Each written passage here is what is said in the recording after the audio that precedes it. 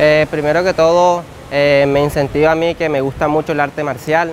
Eh, desde muy pequeño vengo entrenando esta disciplina y al igual que yo, mis compañeros, estamos iniciando un proyecto de ayudar a la comunidad y a las futuras generaciones venideras para que nos acompañen y sigamos creciendo el taekwondo más que en el municipio de Montelíbano, en el departamento.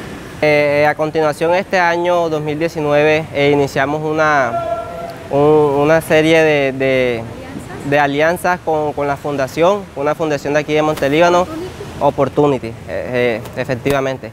Eh, y con ella estamos aliados para, por, así decirlo, nos vamos a acompañar unos con los otros para crecer y, y sea el deporte un poco más grande aquí en el municipio. Ahora mismo estamos retomando las actividades de, competencia.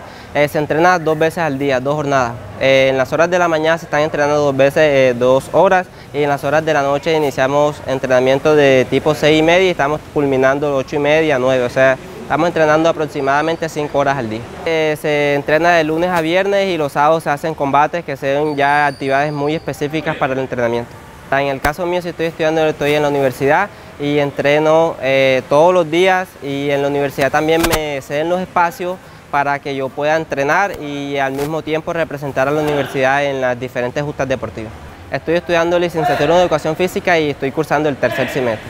¿Qué mensaje le deja a los jóvenes para que se unan a las prácticas de un deporte? Eh, pues principalmente eh, que practiquen cualquier actividad deportiva. Primero que todo porque es mejorar la salud, mejorar el cuerpo, mejorar la mente, te distrae y estás alejado de todas las cosas malas. Y segundo, es algo muy lindo que te ayuda a conocer partes hermosas, te ayuda a cambiar de mentalidad y te ayuda a ser mejor persona y mejor calidad de vida.